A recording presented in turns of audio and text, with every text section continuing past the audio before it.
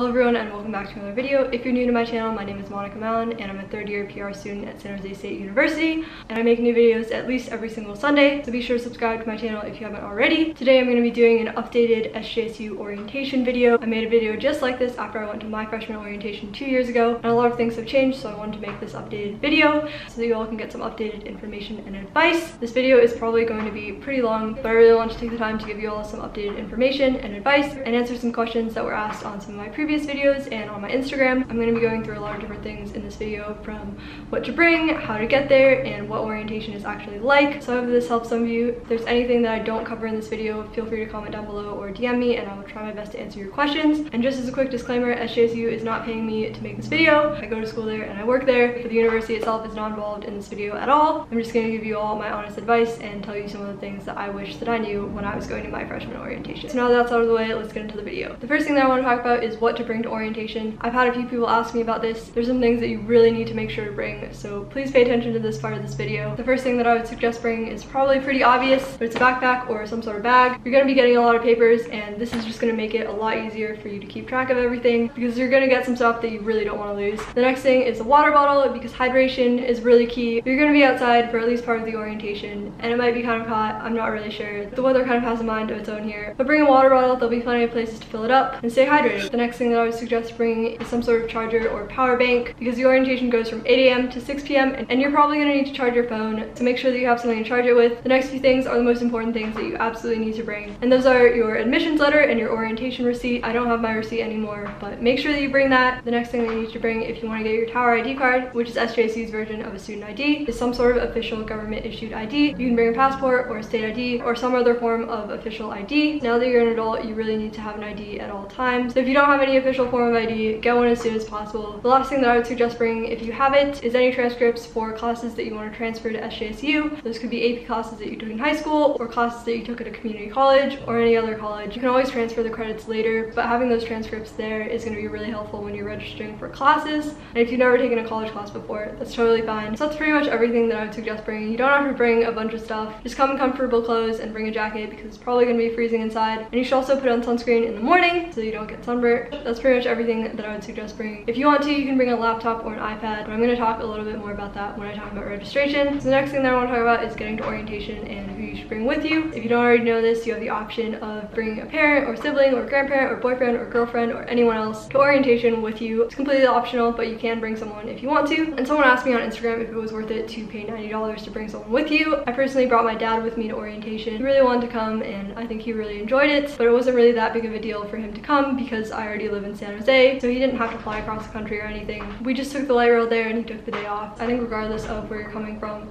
it is worth it to pay the $90 if you have someone that really wants to go with you or if you just don't want to go to your orientation alone. It can be kind of scary to go to a new place and not know anyone so it might be nice to have someone that you know to go with you but it's completely up to you. They do have a program for parents and family members and guests so they're not going to be bored and they are going to be able to learn a lot more about SJSU so if they want to come bring them. In the grand scheme of things $90 really isn't that expensive. The next thing that I want to talk about is getting to orientation, parking, traffic and all of that. If you're coming from really far away and you're flying in I highly suggest flying into the San Jose airport if possible. Pretty close to campus and it's just gonna make everything a lot easier for you. And when you're trying to get from the airport to campus, there's two main methods of transportation that I would recommend. The first is using public transit. There's a free shuttle that comes to the airport and will take you to the airport light rail station. And then once you're at the airport light rail station, you can get on any southbound train and get off at Paseo de San Antonio station and walk to campus. It's only about a 15 minute ride on the light rail and it only costs $2.25 so that is by far the cheapest option. The second method of transportation from the airport that I would suggest is taking a Lyft. I personally think a Lyft is a lot cheaper than taking a taxi and I've never had a problem getting a Lyft in San Jose and I've never had any problems with Lyft drivers in San Jose so I'd highly suggest using Lyft. If you've never used Lyft before you can use my code to get your first ride free. So if you're not flying but you don't live close to the Bay Area and you're driving up from Southern California or Northern California or some other state, I would suggest driving up the night before and either staying in the on-campus accommodations or in a hotel in downtown San Jose. If you have any specific questions about hotels or accommodations, feel free to DM me or send me an email and I'll try to help you out. And finally, if you're from the Bay Area, I would suggest using public transportation if possible. Traffic can be really bad and it can be kind of difficult to find parking spots. If you have any questions about that, feel free to message me. I work at the transportation department of AS at SJSU, so I know a lot about transportation. If you are planning on driving, I would suggest going on Google Maps and calculating the time that it'll take you to drive there, and then adding somewhere between a half hour and an hour to that. Just in case traffic's really bad or you have a hard time finding parking, you should be able to park in the 10th Street garage, but I would highly suggest adding some buffer time just in case there's any sort of problem. So those are my main suggestions for getting there. My number one bit of advice is just to leave really early. So now that I've talked about getting to orientation, it's time to actually talk about what the orientation is actually like. So the first thing that happens when you get to orientation is you have to wait in a really long line to check in. If you don't want to wait in line, get there a little bit early. And the check-in process will probably be a lot easier for you. So if there's time after you check in, you can go on a tour of the campus and get some breakfast. I'm not sure if I mentioned this earlier, but food is provided. You don't have to bring any food. You can obviously bring your own food if you want to or if you have food allergies,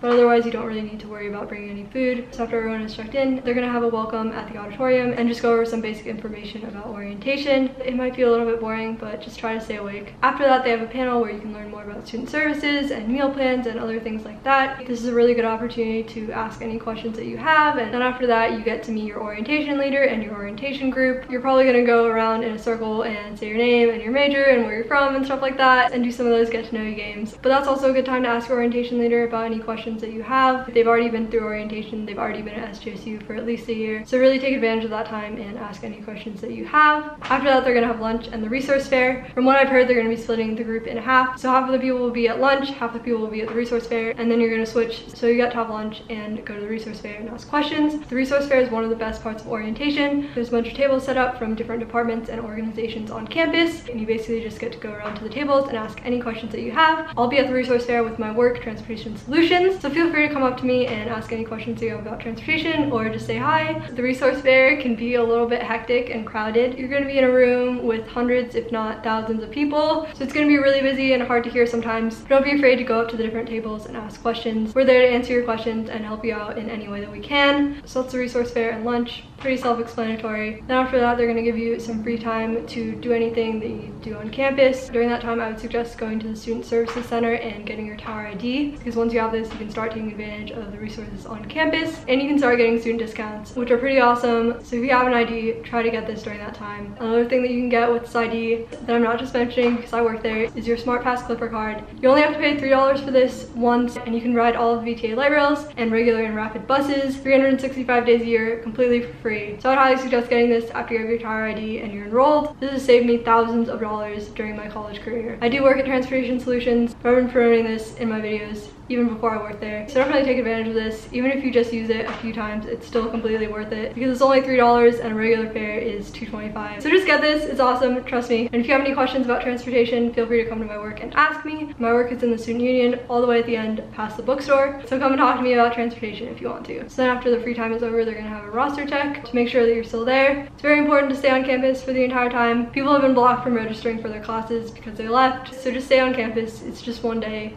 think you can handle it. After the roster check, there's a diversity in Title IX presentation. It's probably not going to be the most interesting thing in the world, but it's really important information, so please try to absorb as much of it as possible. So after the presentation, you're going to be split into groups by college to register for your classes. This is one of the most important parts of orientation, and there's quite a few things that I want to say about this. And I also want to take the time to answer some questions that you all have asked. They don't tell you to prepare anything for registration, but I suggest doing some research ahead of time. I'm going to link this down below. But there's a page on the SJSU website where you can get all the roadmap maps for the different majors. So look at that ahead of time so you can get a sense of the classes that you might want to register for. If you want to switch your major, get the roadmap for the major that you want to switch into. If you're not coming in with any college credits, you're probably mostly going to be taking general education classes, which are the same for all majors. But if you do have some credits and you want to switch your major, I would suggest taking the intro class or one of the prerequisites for that major. I completely understand that you might have picked a major that you're not interested in anymore in your application.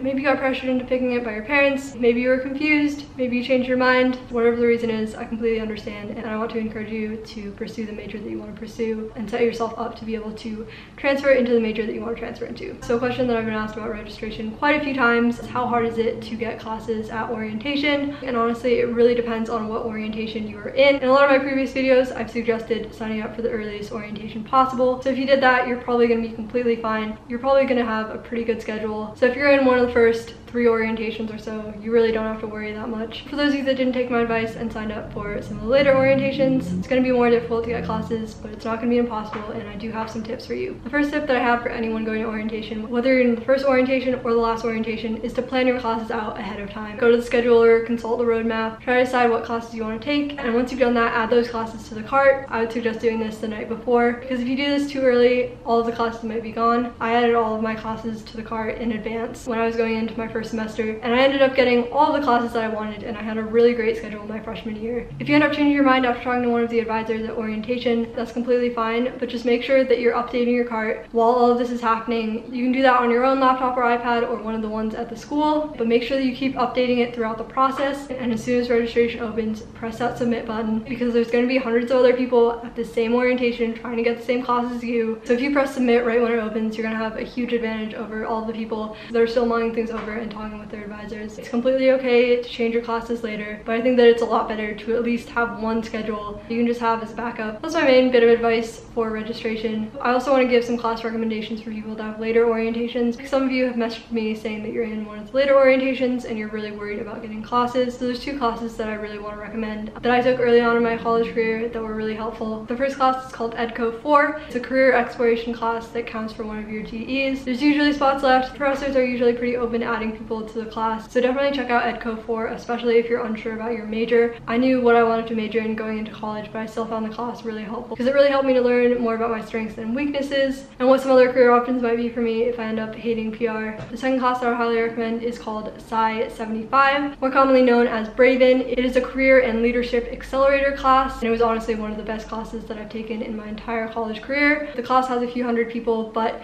you're broken into small groups of about 10 people and the teacher of the class is a professional at a company in the Bay Area. So it's a really great opportunity to learn from people who are actually working in Silicon Valley. I learned so much from Braven and I even had an interview at eBay because of it. So I'd highly recommend signing up for Braven. You have to apply separately on their website, so I'll put a link to that down below. So be sure to check out Braven if you're looking for an elective. It's an awesome class. That's pretty much all the advice that I have for registration. If you have any specific questions, feel free to message me or comment down below. Registration is the last thing that you're required to do at orientation. So after you're done registering, you can go home or explore campus or explore San Jose. I think that's pretty much everything that I wanted to say in this video. If you have any other questions, feel free to comment down below or DM me. I'm always willing to answer any questions that you all have. If you're watching this around the time that it's posted, I will be at VidCon in Anaheim next week. So if you're there, come say hi to me. Thank you all so much for watching this video. Stay awesome and I'll see all of you very soon with a new video. Goodbye.